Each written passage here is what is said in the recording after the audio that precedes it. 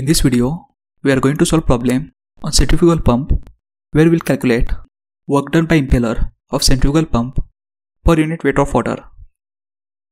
So the question is given as the internal and external diameter of impeller of centrifugal pump are 200 mm and 400 mm respectively.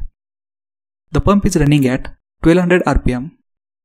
The vane angles of impeller at inlet and outlet are 20 degree and 30 degree respectively. The water enters the impeller radially and velocity of flow is constant.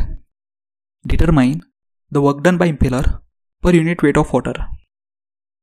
So to solve this problem, first I will write down the given data provided, where internal diameter of impeller, capital D1, is given as 200 mm, that is equal to 0.2 meter, and outer diameter of impeller, capital D2, is given as 400 mm, that is equal to 0.4 meter.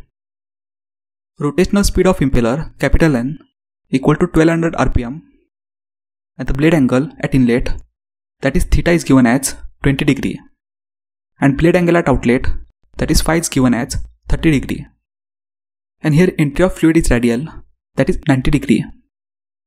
And velocity of flow at inlet and outlet is constant, that means Vf1 equal to Vf2. In this problem, we want to calculate work done of impeller per unit weight of water and which can be determined by this formula where we need to calculate values of Vw2 and U2. Therefore, velocity of whirl at outlet that is Vw2 we can calculate from trigonometric ratio of tan phi because blade angle at outlet that is phi is given in problem as 30 degree. But here we don't know the values of Vf2 and U2 and here in problem they had mentioned that velocity of flow at inlet and outlet is constant. That is Vf2 equal to Vf1 and Vf1 which can calculate from trigonometric ratio of tan theta. Where theta is blade angle at outlet which is given in problem as 20 degree. And again in this equation we need to find out u1 that is blade velocity at inlet and which can be calculated from the formula which we have discussed in previous video. That is u1 equal to pi d1n by 60 where D1 is 0.2 and capital N is 1200.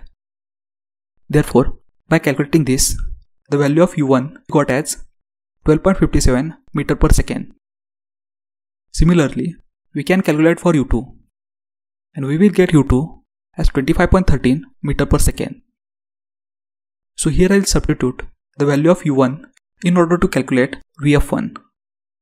So vf1 we got as 4.58 meter per second which is also equal to vf2 because velocity of flow is constant at inlet and outlet and with the help of vf2 and u2 I will calculate vw2 as 17.2 meter per second.